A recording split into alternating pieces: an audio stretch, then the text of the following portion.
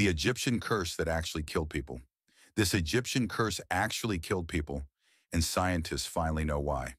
November 1922.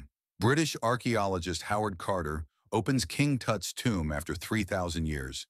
Inside, they find a warning.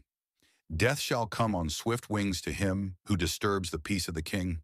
Within months, the expedition's financier, Lord Carnarvon, dies mysteriously. Then the radiologist who x-rayed the mummy, then Carter's assistant, then the secretary.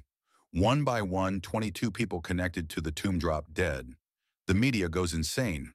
The curse of the pharaohs. But here's what really killed them.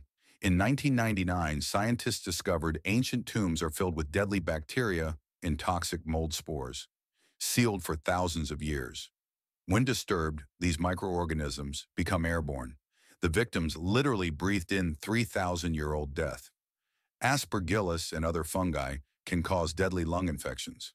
The curse was real, just not supernatural, it was biology.